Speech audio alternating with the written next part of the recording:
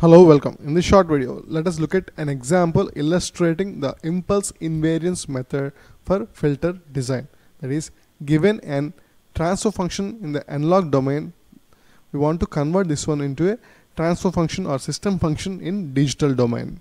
So we are going to look at the impulse invariance method. So the given information is as follows.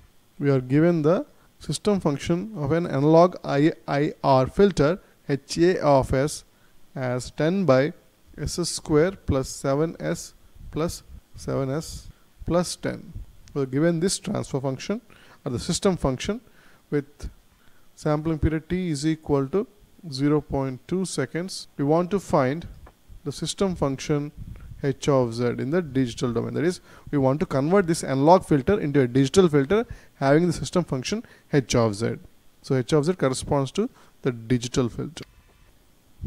So let us look at the solution.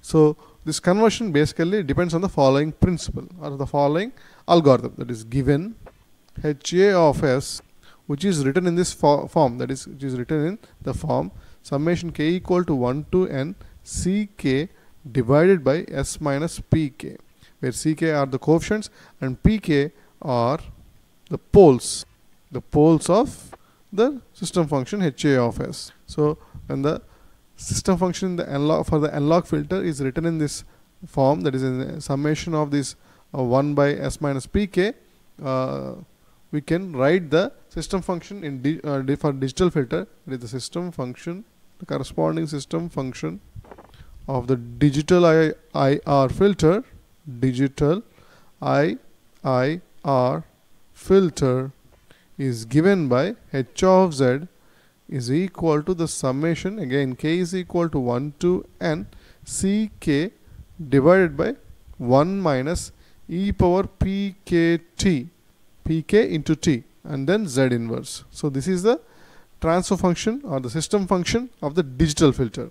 So let us apply this um, algorithm or this formula to the given problem or given uh, system function. So for that purpose we have a step 1 that is the step 1 for this solution is we have to write HA of S in the given form. That is HA of S has to be converted to a summation. K is equal to 1 to n ck by s minus pk in other words we have to find the values of pks and ck's so the first step is we have to find there is a uh, pks that is the poles. These poles are basically roots of the denominator of the HA of S which is basically S square plus 7S plus 10. So the roots of this expression are the poles of the uh, HA of S that is the system function. Therefore uh, clearly S square plus 7S plus 10 is S plus 2 into S plus 5. Therefore P1 is minus 2 and P2 is minus 5.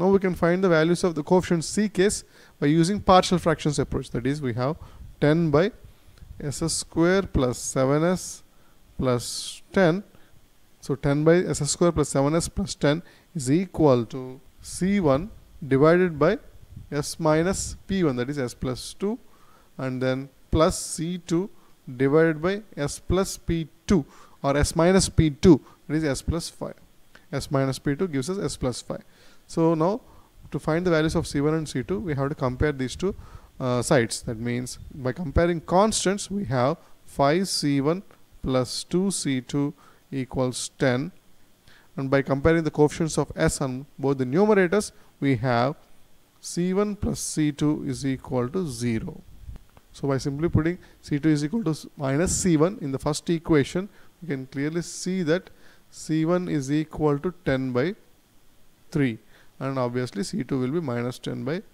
3 therefore HA of S is indeed equal to 10 by 3 multiplied by 1 by S plus 2 minus 10 by 3 into 1 by S plus 5.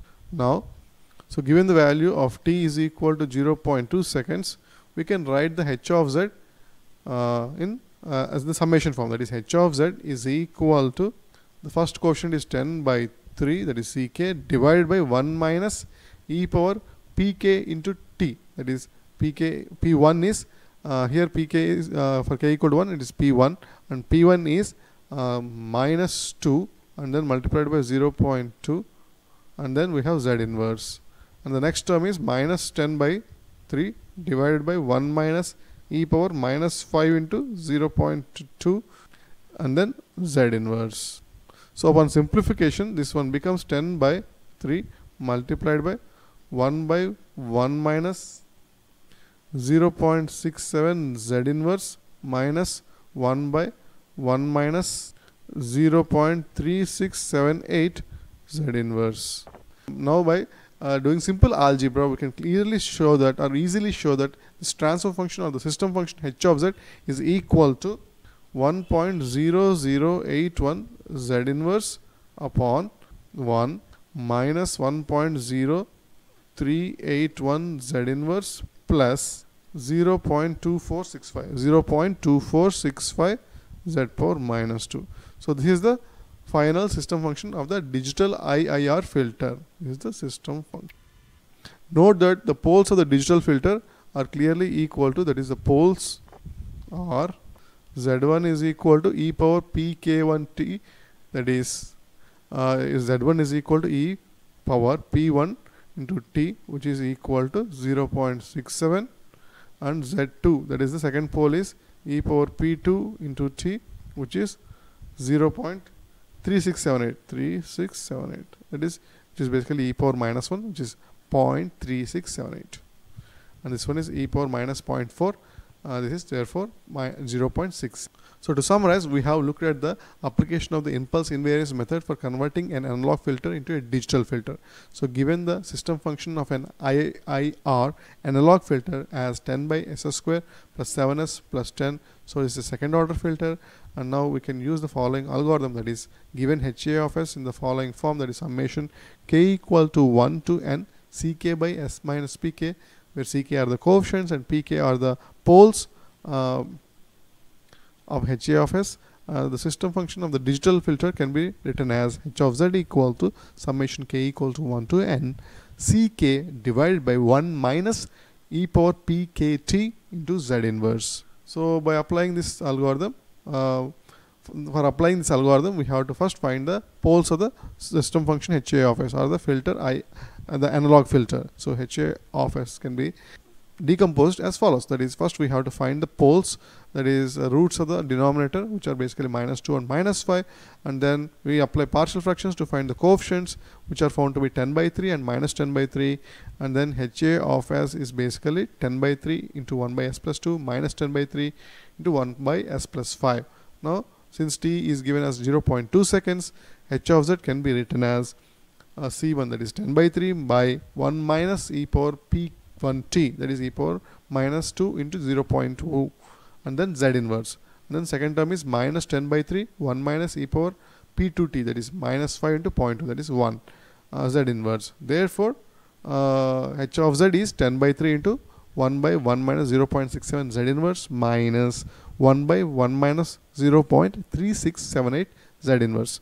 Upon simple upon simple using basic algebra h of z is found to be 1.0081 z inverse by 1 minus 1.0381 z inverse plus 0.2465 z power minus 2. So this is the system function of the digital IIR filter. Note that the poles are basically e power p1t and e power p2t which are 0.67 and 0.3678 which are both inside the unit circle. So thus we have converted an analog filter into a digital filter using the impulse invariance method. Thanks for watching.